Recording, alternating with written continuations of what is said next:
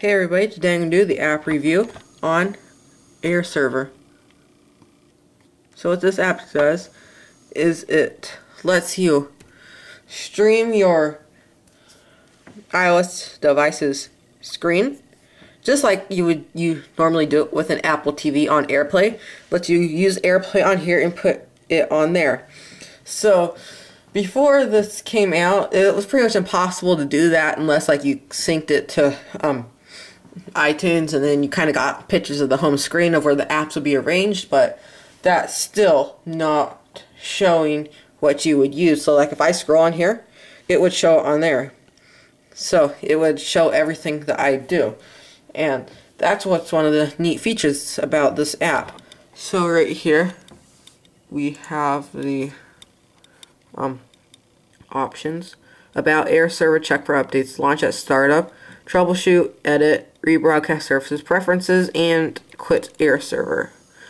So, um, there's no, um, there's nothing that you would really need to change in here unless you want to launch at startup, which is a good idea.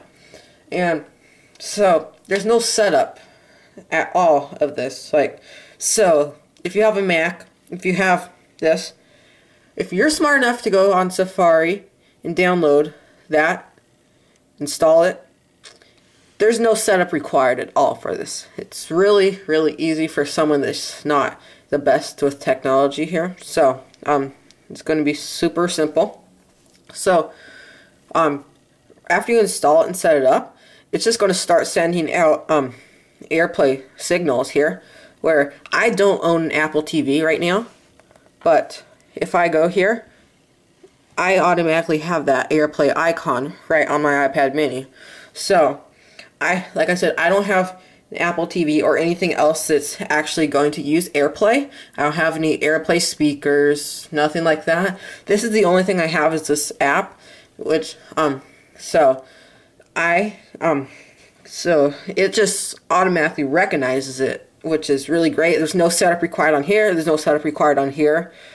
All you do is just double click your home button, go over here, get that AirPlay icon, select it for your device that you want to use, and that's it. So, um, you go to your multitasking bar, click that AirPlay icon. Um, it will currently be checked for iPad or whatever device you're using. I'm using my iPad mini. And it will say the name of the device that you want to hook up to. And mine right now says Madeline because that's the name of my computer. And that's kind of silly, but I name my um, devices the iPad mini. That's Paige. The iPad 3, Penda. My iPhone 5, that's Pepper. So you select the device that you want to. Make sure that mirroring is on. So that's what we're going to do here is actually have it be mirrored. And because if you don't select mirroring, um, you can just play music right from your iPad without having to connect any cables, which is really, really nice. And um, you can stream pictures. That's it. But so we want mirroring on for this case, but I'll show you more information, show you and tell you more information about not having mirroring on in a little bit. So as you can see, I have it's exactly mirroring what I'm what's shown right now. So it's just like that. I'm going to pull the iPad mini away for right now so you can get a better look at this screen. And so you, this is just an example of how smooth the scrolling is on here. It's a little choppy. Let me just show you here. So scrolling and then see, and you can see in real time how choppy it is. You could judge for yourself.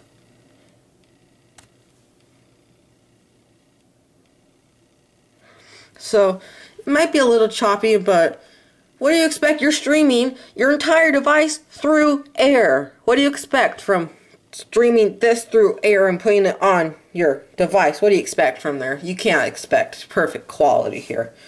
Um, so this is just the mirroring part of it.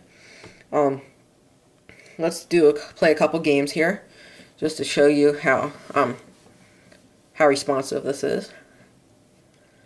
Um, so to the games, there is sound. I have my speakers hooked up to the computer, but the sound's currently off. So um, you're not going to hear sound. But if there's sound on your um, device in the game that you're playing, it's going to automatically stream that also to your computer. So let's just play a game. I'm not going to show you how um, how it looks on my screen because you can kind of see for yourself. It's kind of going, if it's choppy or not, you can tell for yourself. And I'll just tell you right now that on the iPad and on the um, Mac, they are in sync. So, um, so it's just showing you right now that they are both in real time, not out of sync at all. Okay, let's just try one more game. How about this one?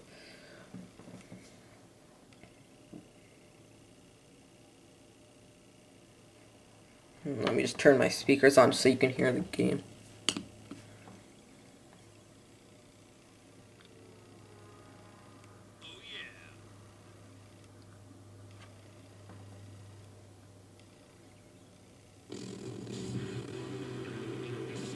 sometimes when it's not responding the best, it's it might partly be your Wi-Fi connection, and um, also when it isn't responding the best, the sound might get um a little um choppy also.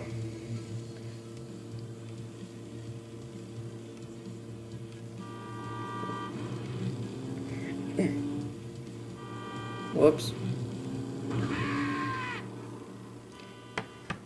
Okay, so, um, now let me tell you more about the streaming the music and the pictures. Okay, so now as you can see, um, I don't have, um, AirPlay on, icon's not there. So now let me show you how the streaming the pictures and, um, music works. Let's just do pictures first. Um, so, I don't have a lot of pictures to show you right now because I just got my iPad mini, um, yesterday. So, um, um, in the photo app, you can tap in, in between the share and the delete button, there will be um, an AirPlay icon. And again, I just select my computer. And then um, instead of mirroring the um, the screen how it is, it actually takes the picture on here and puts it on there. Because like if you see I bring up the um, option bar, it doesn't show up there. So um, I can just swipe through my pictures. And um, what's really nice about this, whoops, it was stuck there. What's nice about this though is it, it gives you this really nice fading feature when you do it. It's it's kind of like a slideshow instead of just automatically switching like um like it would like on here it just gives you that nice fading feature which is kind of cool. So let me just turn this off right here and let's do music. So you just go into your music app right here and then again by the volume you'll see the airplay icon. So then if I want to select my computer again that, just like that. Nothing will actually show up on the screen, but if I want to, um, but if I play it, it shows you the album icon right there, just like that. So, um, and I just didn't have that on for, um, while just because it's copyrighted, so, but trust me, it does work. So, um, that's just how you can stream your photos and music through AirPlay. Another cool feature is that you can actually stream more than one screen on the on your computer. So let me just hook up my iPad mini with mirroring on. And you can see that is there. And let me take my iPad 3 and also hook this up for the mirroring.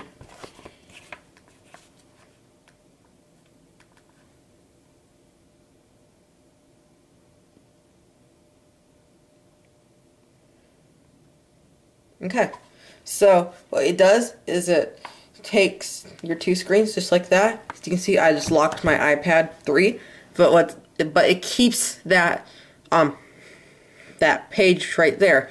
And as you can see, I name my devices. So it says Penda, and it shows the size of the screen, 540 by 720. And when I unlock it here, it shows that lock screen. See, insane. You can do a lock screen for both. Just like that.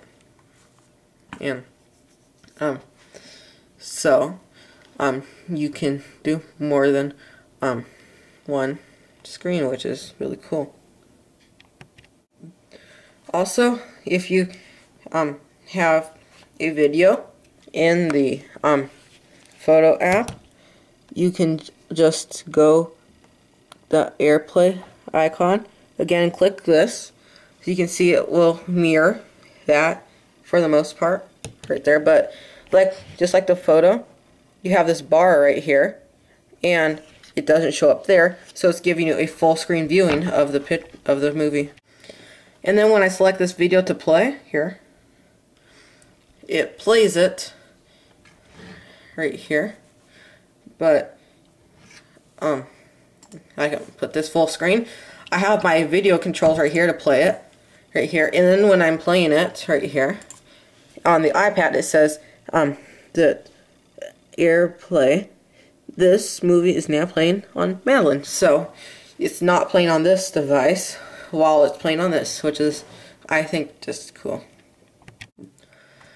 Now, in the um, actual mirroring screen, there's this little icon at the bottom, right there, which lets you click it, and it changes the size of the screen. So let me show you what I mean here. Um, I click it once and just seeing what it does. This is how it comes standard, but I like the wider feature like that, but then you get you get four different sizes. Just like that. So now more information on the app itself. You go to airserverapp.com and I'll have a link, I'll definitely have a link in the description below for that. And um so um, one of the really neat features though is that it supports full 1080p HD. So um, if you're that type of person that likes really good quality screens, then this is the one for you. Um, and um, I know there's one more service that lets you do this, or that I know of, and you can actually record the screen, but it's really not that much harder to actually go download a free app from the App Store, like screen, just like a screen capture tool, and you can do that for free, and um, you can still record your screen. So, um, just like that. Now, um talk about pricing. Um, this is um the only one that I've seen that both supports Mac and a PC. Um, so you can get a seven day free trial and using one Mac, and you get that full version for seven days. You can get the standard license, which is what I think we have here. Is I think that's the one that I got. It's fifteen dollars, but it runs up to five Macs. You can get the student license for twelve dollars, running up to three Macs, and the commercial license for four dollars with up to one Mac. And um, we and it's the same story for the PC, same numbers, same number of computers, same prices. So, um, if you have any questions about this app, you can leave a comment in the description below, and I'll try, not in the description below, in the comment section below, and I'll try to answer your question. And be sure to check out this app. Special thanks to the people who sent me this app to review.